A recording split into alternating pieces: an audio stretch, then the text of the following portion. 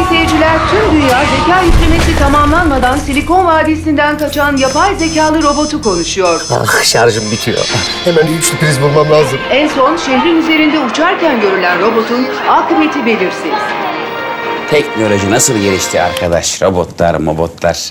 Hmm, teknoloji demişken benim bir mobil bankacılık işim vardı ya. Bu ne ya? Sadece bakarak telefonda işlem yaptı. E bu da robot o zaman. Başka robota denk geldim. Hı. Merhaba robot kardeş. Ben Geri.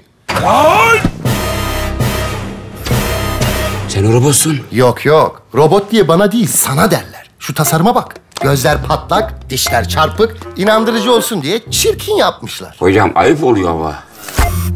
Senin üretimi kim yaptı Devrem? Üretim mi? Şenol ve Sevim Şenyurt.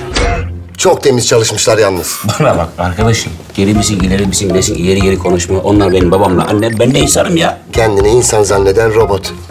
Bizim camiada en sık görülen hastalık budur biliyor musun? Ama ispatı kolay. Mesela sen insan olsan burada cayır cayır çarpılırdın.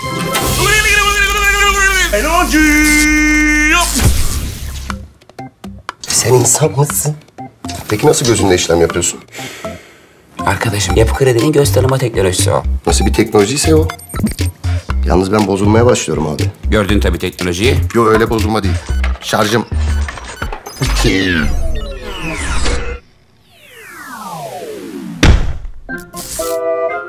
Robot bildiğin üstüme kaldı ya.